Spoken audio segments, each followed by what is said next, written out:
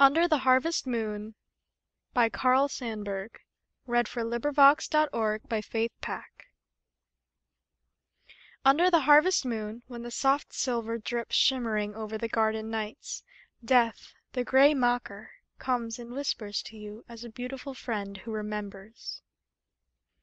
Under the summer roses, when the flagrant crimson lurks in the dusk Of the wild red leaves, Love, with little hands, comes and touches you with a thousand memories, and asks you beautiful unanswerable questions.